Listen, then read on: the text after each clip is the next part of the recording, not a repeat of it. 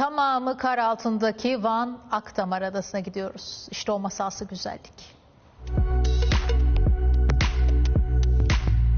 Ada mükemmel, manzara mükemmel. Üzerinde beyaz gelinliği, tam ortasında tarihi kiliseyle tablo gibi. Akdamar Adası'nın güzelliğini anlatmak için kelimeler yetersiz. Daha önce internetten görmüştüm, dergilerden görmüştüm ama hiç gelmemiştim. Sırf zaten bu Akdamar Adası'nı görmek için İzmir'den kalkıp geldik. Van Gölü'ndeki adaya yarım saatlik tekne yolculuğuyla ulaşılıyor. Bugünlerde tamamı kar altında.